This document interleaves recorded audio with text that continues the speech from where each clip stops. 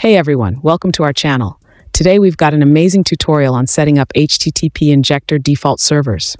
For more VPN updates, files, and tricks, check out our blog. If you're new here, don't forget to like and subscribe. Let's get started.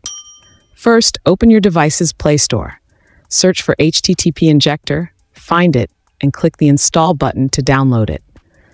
Once the app is installed, open it. You'll see the app's home screen. Click the hamburger icon in the upper left corner. The menu page will open. Scroll down to find Servers and click on it. On the Servers page, look at the top for tunnel type. Click the arrowhead button to open it. From the options that appear, we'll select Shadowsocks. Don't forget to click the Save button. Now in the location list, choose a location and click on it. We'll pick Singapore. It works well for gaming too. More options will pop up. Choose a fast server based on the percentage shown. Click on your choice. You'll see a connect button. Click on it. Now you're back on the home page. Click the start button. In just a few seconds, you'll be connected to a fast browsing internet connection.